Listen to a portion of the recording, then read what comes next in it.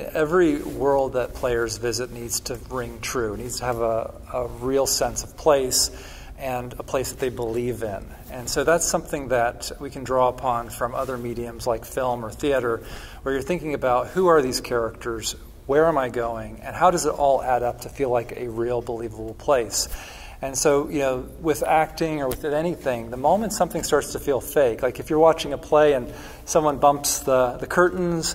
or um, a character says something that just doesn't sound like they would say that, that's what kind of breaks that magical bubble. And so with games, you know, every single element with, you know, how um, you know, the various characters interact with one another and how the world reacts to you needs to be fairly consistent and kind of um, be based out of a core seed or roots that kind of everything grows out of.